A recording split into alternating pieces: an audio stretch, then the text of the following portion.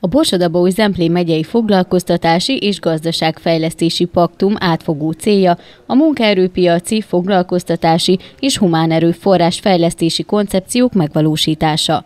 Elsődleges célcsoport a hátrányos helyzetű és inaktív álláskeresők, a velük foglalkozó intézmények munkatársai, a bevont vállalkozások és a helyi lakosság. A foglalkoztatási paktum keretében helyi szintű megállapodások valósulnak meg. A Borsodabói Zemplén megyei foglalkoztatási és gazdaságfejlesztési paktum soron következő ülésén a következőket tárgyalták meg a tagok. Paktum szervezetet néhány hónappal ezelőtt megalapítottuk. Akkor még volt hat olyan eh, kistérség, ahol nem tudott még megalakulni a paktum szervezet. Ez a hat eh, helyi stratégiát készítő helyi paktum, ez most megalakult, és a mai nap folyamán csatlakozik a megyei paktumhoz. A megyei paktum az egy 5 éves időtartalomra, a helyi paktumok pedig egy 36 hónapos, 3 éves időtartalomra jönnek létre, itt fognak működni.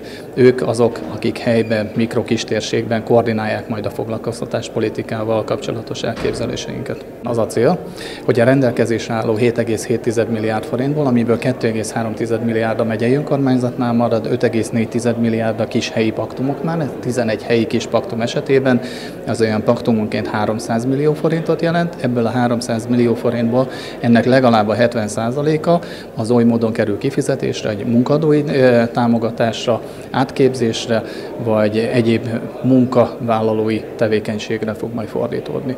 Ez azért rendkívül fontos, mert a mi megyénkben a munkanélküliségi ráta az most 6,4%-on van, az országos munkanélküli ráta az 4,4, és azt szeretnénk elérni, hogy ha a paktum sikeresen lebonyolódik, akkor nem csak, hogy 5000 ember, 4999 az indikátorszámunk, hanem lényegesen több ember tudunk bevonni a munkavilágába, és ezáltal mindenki olyan munkahelyet talál magának, itt Borsodban vagy Szemplén megyében, amilyet elképzelt. Az Edelényi kistérség több célú társulása, forróközség önkormányzata, mezőcsát és térsége területfejlesztési önkormányzati társulás, a mezőkövesdi több célú kistérségi társulás, Sátoraljaújhely város önkormányzata és Szirmabesenyő nagyközség önkormányzata is csatlakozott a paktum szervezethez, amely az együttműködési megállapodás aláírásával vált hitelessé.